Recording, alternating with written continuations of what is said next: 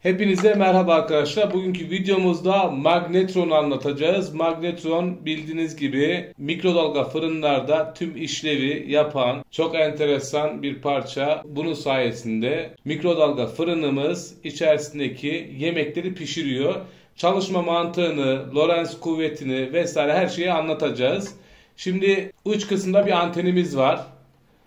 Burada iki tane mıknatıs, bu arada bu mıknatıslar bayağı kuvvetli. Ortasında bakır bir hazne ve iç kısmında filament dediğimiz bir parça var. Etrafında da bakır borular sarılı. Merak etmeyin bunları parçalayıp iç kısmında göstereceğiz. Şöyle açtığımızda bu anten kırılmış. Normalde şu alt kısma sabit. Anten sayesinde fırınımızın iç kısmı negatif ve pozitif frekans bombardımanına tutuluyor diyebiliriz. Sistem nasıl işliyor? Magnetron çok yüksek voltajla çalışıyor. Yani 2000, 4000, 6000 gibi rakamlara çıkıyor. Çok fazla akım var. Bu oluşan akım sayesinde magnetronun iç kısmında bulunan filament ısınıyor. Etrafta bakır telle çevrili onu da göstereceğiz dediğimiz gibi. Bu oluşan aşırı ısı nedeniyle etrafına elektronlar koparak saçılıyor diyelim. Çok yüksek sıcaklıktan dolayı. Filamentin dış kısmında bulunan bakır silindir ise pozitif yüklü.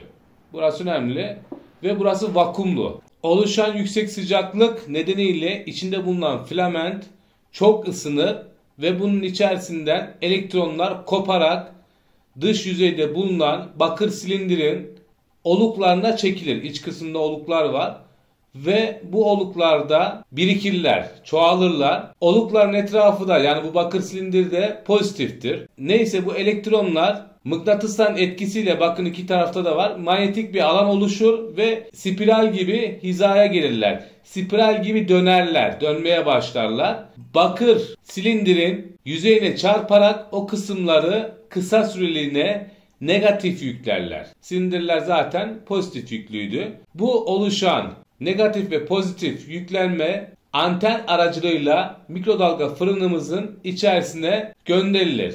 İşte dalga olayı da buradan başlıyor yani. İçine yemek konduğunda biliyorsunuz yiyeceklerin içerisinde su molekülleri var ve su molekülleri yani artı ve eksi kutupları var. Dolayısıyla siz içeriye artı yolluyorsunuz, eksi yolluyorsunuz. Ne oluyor? Su molekülleri sürekli hizaya girmeye çalışıyor. Yani eksi geliyor eksiye dönüyor, artı geliyor artıya dönüyor çift kutuplu ya. Ve sürekli bir hareket, bir titreşim, bir kıpraşma oluyor. Bunun sonucunda da ısı oluşuyor. Ve sıvı gıdalar, içerisinde su bulunan her şey ısınırken katı şeyler ısınmıyor. Çalışma mantığı kısaca bu. Sökelim bakalım ne çıkacak.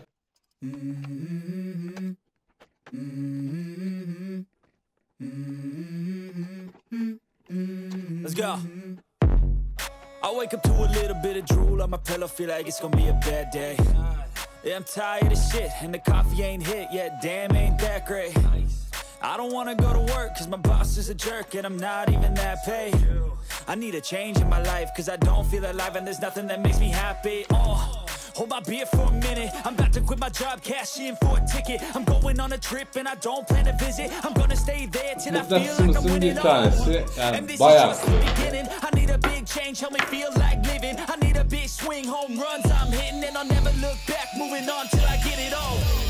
And we all got dreams, we all want things But what you gonna do for it, how you gonna move for it, what you gonna be And do you believe you can do anything bayağı sağlam tutan sağlam iki tane mıknatıs var. Dediğim gibi bu mıknatıslar bu filamentin etrafında şu şekilde hizalanarak manyetik bir alan oluşturuyor ve bu alan sayesinde negatif ve pozitif makinenin içerisine yollanıyor. Basitçe bu. Şu iç kısmı da gösterelim. Filamentimiz bunun içinde. Nasıl çıkarırız?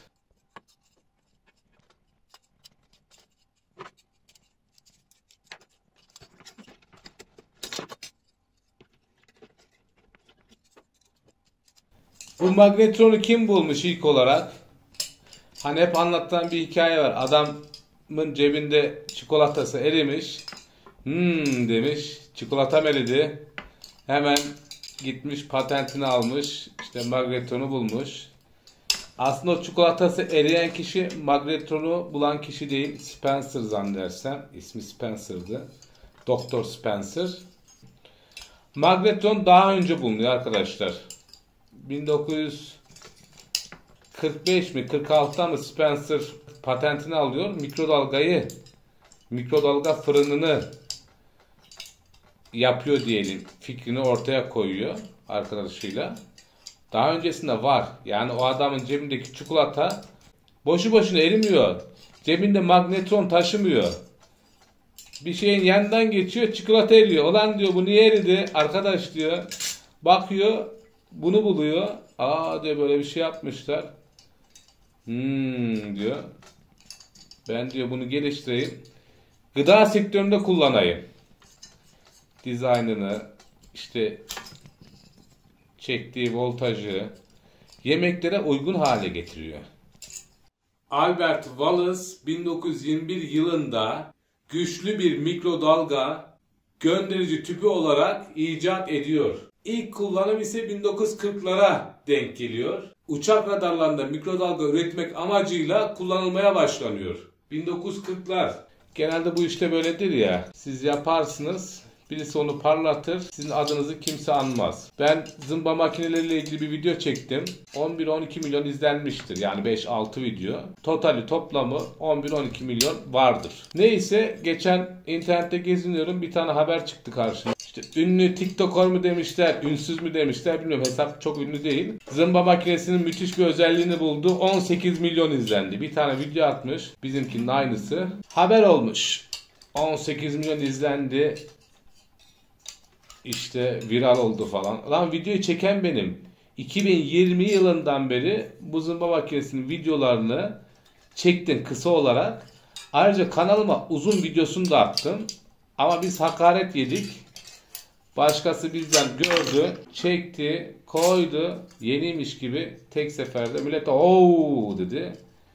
Bu işler böyle maalesef. Ama devam edeceğiz. Benim çok videom var bu şekilde izlenen izlenmiş, viral olmuş kısa videolarım. Ama yani hak ettiği yerde mi değil. Sizden desteğiyle inşallah hak ettiği yere gelecek. Şu magnetronu kaç kişi açmış internette bilmiyorum. Yoktur herhalde çok fazla.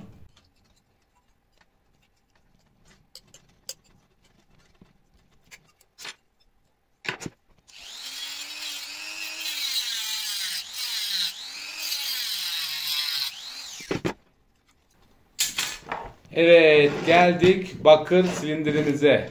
Meşhur yer.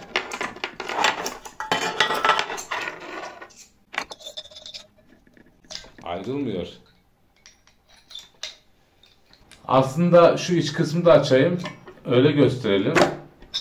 Buranın içi vakumlu.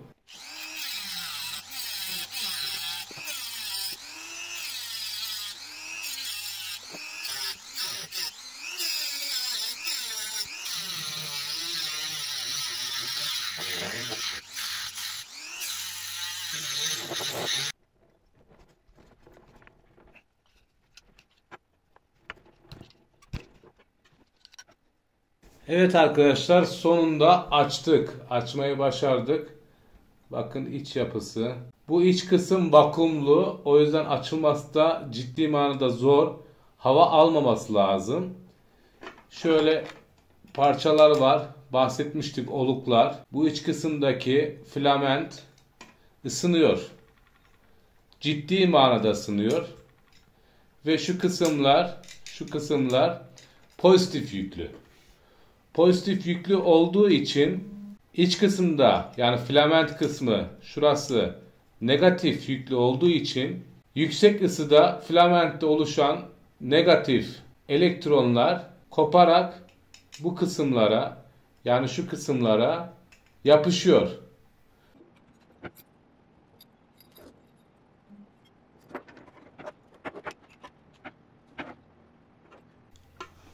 Malzeme bu arkadaşlar. Bakın bu buradan iç kısımdan içeri doğru giriyor. Yani ekran görüntülerinde, videolarda gördüğümüzden biraz farklı. Tabi teknoloji değişmiş, gelişmiş. Dolayısıyla da bunun dizaynı da biraz değişmiş, farklılaşmış. Yani içerisinde bakır bir silindir ve üstünde bir kap yok. İçerisinde silindirin kapla bütün olduğu bir parça var. Direkt olarak oluklar üstteki bakıra geçirilmiş, takılmış da diyebiliriz. Bakalım. Sanki onun parçası gibi. Ve ortasında böyle bir oluk bir kanal oluşmuş. Filament de içinden geçiyor. Aynen bahsettiğimiz gibi 10 defa anlatmaya gerek yok. Başarılı güzel bir malzeme. Söktük, uğraştık. Yani faydalı güzel bir video olmuştur diye düşünüyorum. Evinizde bunları denemeyin. Yapmayın yani. Eldiven giyin, koruyucu malzemeler giyin. Başınıza kötü olaylar gelebilir. Sizden bir ricamız, bir isteğimiz var. YouTube kanalımıza abone olarak bizleri desteklemeniz. Sizler sayesinde büyüyeceğiz, gelişeceğiz. Başka bir videomuzda görüşmek üzere. Hepinize sağlıklı, mutlu, güzel günler dilerim. Hoşçakalın.